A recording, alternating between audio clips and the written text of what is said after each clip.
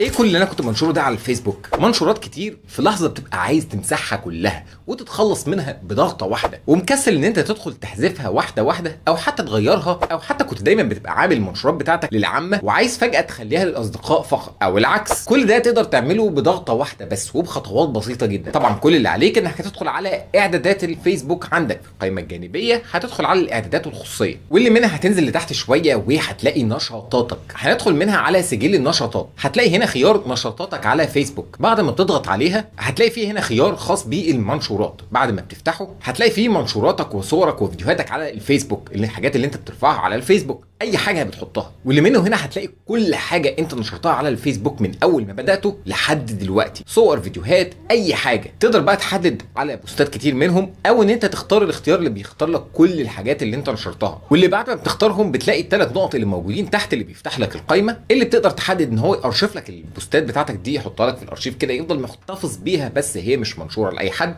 أو تغيير الجمهور إن أنت تغيرها مثلا من العامة للخاصة إن تكون خاصة بيك أنت لوحدك أو تغيرها من خاصة لعامة أو العكس أو تخليها للاصدقاء فقط أو تنقلها لسلة المهملات. ولو بيظهر لك على الفيسبوك فيديوهات ملهاش لازمة ومش كويسة وعايز تتخلص منها شوف الحلقة اللي موجودة هنا. ودي ليها طريقتين الحلقة اللي ظاهرة هنا والحلقة اللي ظاهرة هنا بحيث إن ما يظهرلكش أي فيديوهات شمال على الفيسبوك تاني.